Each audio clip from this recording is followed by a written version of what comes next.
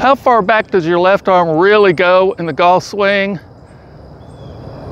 Let's find out.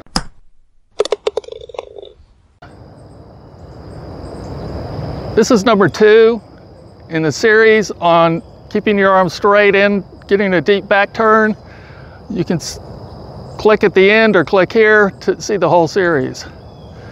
Now, how far back does your lead arm go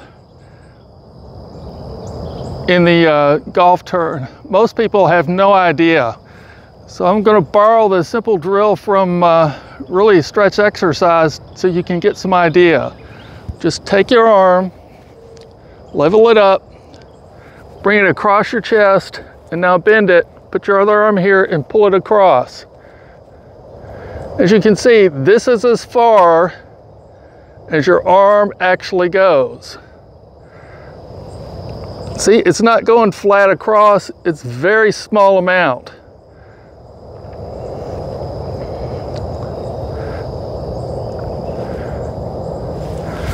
You just take it, pull up here, and pull it across. This will give you some idea how far your arm should go. Now notice if I get down in a golf stance and do that exercise, look at what my arm looks like. This is the same drill, but now I'm down in a golf stance. So I'm pulled it across. Now I turn. And you see how little my arm goes across. Well, I'm not very flexible. I'll admit that up front. I can't get that like John Daly look.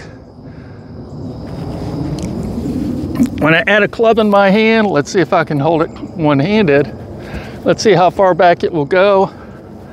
So I'm gonna pull it across and get in my golf swing. See, that's kind of my top of the backswing position. Not kind of, it is. You notice or I hope you notice that my arm is really not in that, or club, it's not parallel with the ground. It's really pointing up. I've got a really short backswing and that's because I just don't have a lot of flexibility in my shoulder. But I'm like a, most people. Most people are not that flexible, particularly my age. So you've got to learn to work with what you've got. So this is your first drill is kind of get that mental image out of your head that your club has got to go way far back, that it's got to get level with the ground.